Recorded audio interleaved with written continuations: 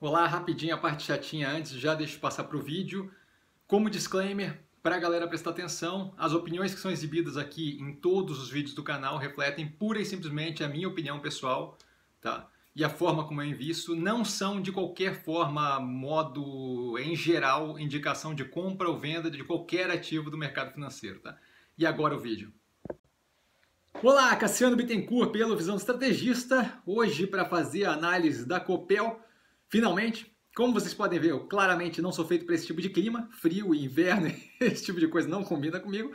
Tá? A empresa tem uma operação ali integrada de energia, então geração, transmissão, distribuição e comercialização de energia, muito parecido com as operações da Neoenergia, Neo E3 que a gente tem na carteira, então spoiler aí, tá? O comparativo vai ser com ela, dado que fica um comparativo bem interessante para entender ali é, o, custo de oportunidade entre as duas e mais do que isso, é, deixa claro ali tá? É, uma, a questão da precificação aqui nesse caso. Tá?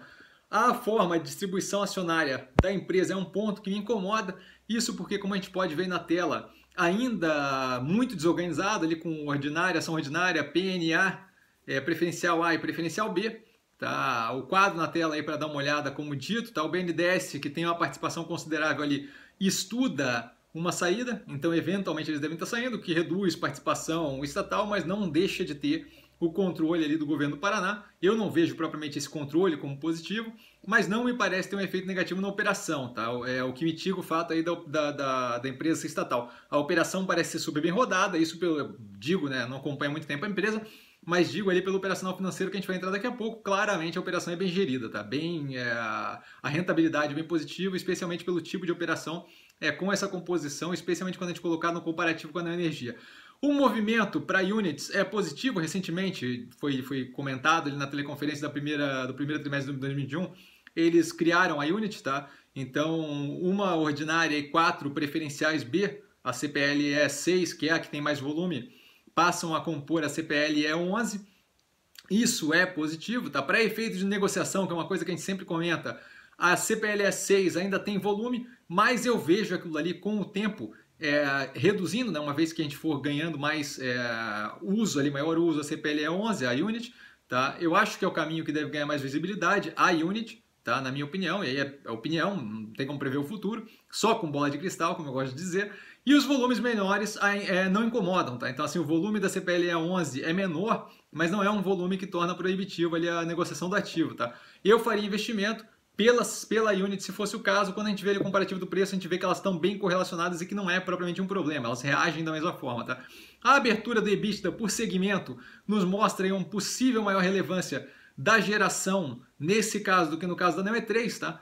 É, dado que aqui a gente tem geração e transmissão em conjunto, a gente pode ter um caso parecido com a energia, é, que no caso eles juntam lá na distribuição e transmissão, então a geração fica bem separadinha. Eu procurei a abertura aqui entre transmissão e geração para poder separar e ver o que vem exatamente de geração, porque tem um pedaço ali considerável de hidrelétrica, tá? Mas por restrição de tempo, operação ser complexa e por no fim esse não ser o foco da análise, aqui eu não fui reorganizar as contas e abrir ponto a ponto, operação por operação, é, geradora por geradora tá? Porque não, não valia o tempo, dado que já estava é, na minha cabeça bem esquematizado o porquê é, da decisão é, com relação a, a, essa operação. Tá? De qualquer forma, a gestão se diz ciente das pressões que vem aí pela crise hídrica e preparada para lidar com isso. Então, eu acho que é algo para a gente acompanhar paulatinamente, mas não vejo propriamente como algo que seja prejudicial no sentido é, de, de, muito agressivamente aqui acabar com a operação. Tá?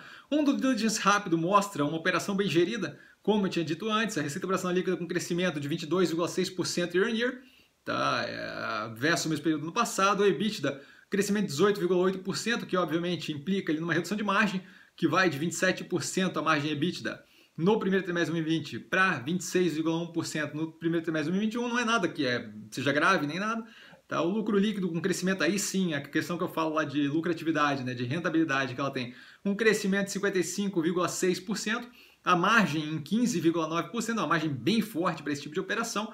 Tá? A rentabilidade da operação é algo bem positivo, forte para esse tipo de operação e consistente. A gente vê isso daí paulatinamente. A hora que tiver o comparativo com vários trimestres ali com a Energia, vocês vão ver que é, quando eu olho margem líquida, eu vejo uma consistência bem grande, é, se não me engano, sempre acima dos 10% ali, tá? A alavancagem muito tranquila, muito tranquila no sentido de bem baixa, tá? Eu acho até que, bom, 1,2 vezes aí dívida líquida sobre EBITDA, eu acho baixa e acho que poderia ser melhor aproveitada. A gente tem um ganho é, por atingir uma alavancagem e trabalhar com, com capital de terceiros num nível ótimo, que pode gerar uma, um maior aproveitamento das operações, tá? É, então isso daí pode refletir mais positivamente nos resultados. A empresa pretende levar essa alavancagem até 2,7 vezes, então eles veem aí um movimento possível de crescimento através de investimento bem agressivo. Tá, eu vejo esse movimento como positivo, acho que tem mais a que alavancar nesse momento, ainda temos aí juros muito baixos, a operação aguenta, tem uma rentabilidade ali muito positiva. Tá? A grande questão é a gente ter aqui uma operação comparável, a grande questão para análise, né? mais descontada, que é justamente o que eu vejo. E aí, pô, não está mais descontada mesmo? Olhando o preço de CPLS 6 e Neo Energia, Neo E3, desde o platô lá pré-pandemia, por que o platô da pré-pandemia? Porque é o último período de normalidade, tá? onde a gente tinha uma avaliação das operações sem Black Swan, sem esse cisne negro que foi a pandemia, tá? onde as operações estavam sendo avaliadas de fato pelo, pelo rendimento, capacidade de expansão e por aí vai. Tá?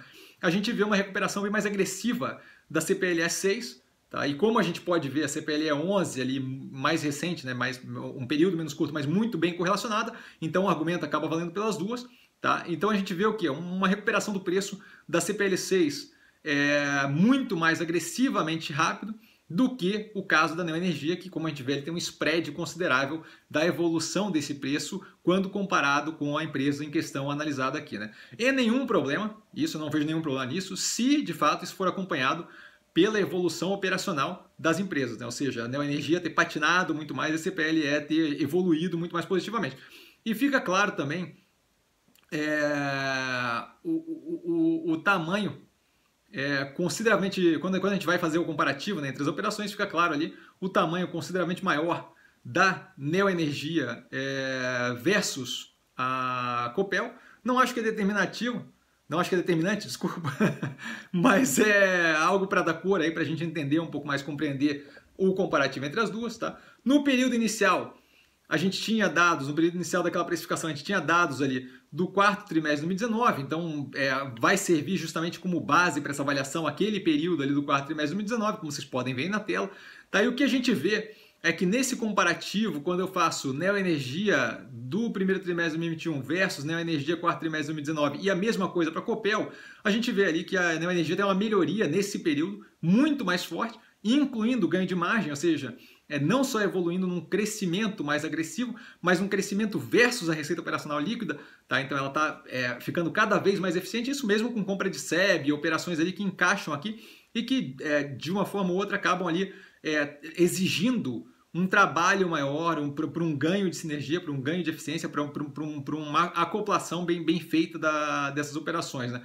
E isso daí vem acompanhado, com certeza, de uma alavancagem mais alta durante o período, como a gente consegue ver, elas têm uma diferença considerável. Né? A, a Copel vinha numa redução de alavancagem, enquanto a energia vinha com uma manutenção. Tá? O que demonstra justamente aquele ponto levantado antes, que é a boa capacidade de trabalhar com capital de terceiros, no caso da energia, tá? mas sem propriamente ter a necessidade de crescimento dessa alavancagem. Então, ela tem uma alavancagem que é mantida em níveis altos, tá? o que claramente acaba favorecendo ali é, esse crescimento e essa agressividade de ganho é, de qualidade operacional, inclusive na evolução ali das margens. Tá? Tendo isso em vista, eu não acho que é justificável a diferença da, da, evolução do preço nesse período e tendo a opção de alocar na neoenergia, eu não vejo racional para fazer essa alocação em CPLE 6 e CPLE 11 que tiveram de fato uma recuperação muito mais agressiva. Naquele fundo ali da operação seria é, uma naquele fundo lá né, no, no, momento de pandemia ali, né, março e por aí vai, seria um momento de talvez alocação ser meio parelha. Nesse momento eu não vejo justificativa qualquer, porque a gente viu justamente CPLE é, é, a Copel é, recuperar muito mais agressivamente. Né? Então, basicamente, pura e simplesmente é uma questão de custo de oportunidade. Tem uma opção que parece muito mais barata comparativamente, com uma evolução da operação que é muito mais positiva. Ter o controle estatal da Copel não ajuda. Não acho que é prejudicial, provavelmente, como falado antes, a gente vê ali que a, pelo comparativo do resultado não é algo que incomoda, tá? mas eu acho que eventualmente aquilo ali pode vir a dar algum tipo de eh, influência política no negócio, não é o que eu quero numa operação, eu prefiro o controle da Iberdrola, que é o caso da Energia, tá? Dúvida? Eu tô sempre no Instagram, arroba investir com sim, só ir lá falar comigo, não trago a pessoa amada, mas sempre lá tirando dúvida. E vale lembrar, quem aprende a ver essa bolsa opera com um mero detalhe. Um grande abraço a todo mundo e até os vídeos do final de semana e segunda-feira tem live. Valeu, galera!